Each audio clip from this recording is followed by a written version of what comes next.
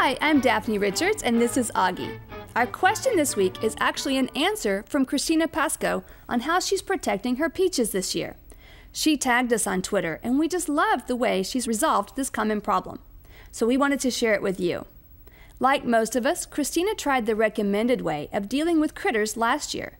She covered her plants with netting, but the netting quickly became a hot mess, and after having daily altercations with it, she decided to try something new this year plastic strawberry containers. This peach tree is only two years old, but was covered in fruit. Wanting to keep birds, squirrels, and other animals from stealing her harvest, Christina be began collecting strawberry containers a year ago, so she'd have plenty when she needed them. Using kitchen scissors, she cut extra holes for ventilation and for rain. Christina reports that these containers work great, but you might need larger containers like those for salads for larger branches. Electrical tape was used to secure the containers after she noticed that crafty squirrels had figured out how to open them. When I first saw Christina's photos, I was curious whether this system really worked, since it seemed to me that the container would hold too much moisture and probably cause the fruit to rot. But Christina says that's not the case, and that she's been very successful. She does suggest checking the containers frequently for ants and other small insects in case they get trapped inside. Thanks, Christina!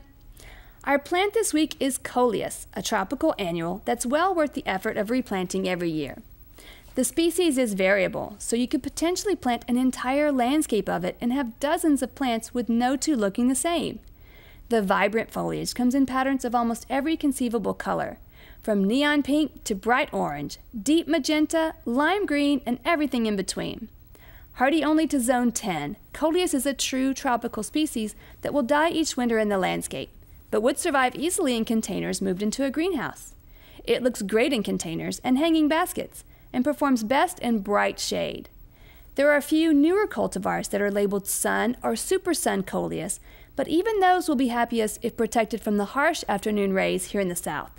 They do require adequate moisture, so plant in beds close to the house where they can easily be given a bed of adding compost to beds prior to planting will also help increase water holding capacity as will an inch or so, inch or so of mulch around new transplants.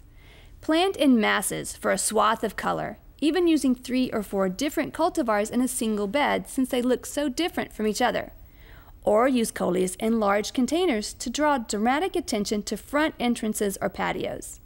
In addition to the wide variety of colors, coleus are also available in all shapes and sizes, so you can plant tall ones in back, short ones in the middle, and super short ones in the front.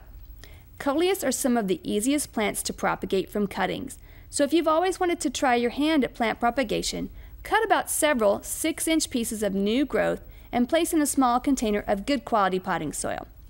Our viewer pictures this week come from Catherine Hart of this cicada and from Mary Alice Lance of this monarch caterpillar on her tropical milkweed that didn't freeze back this year.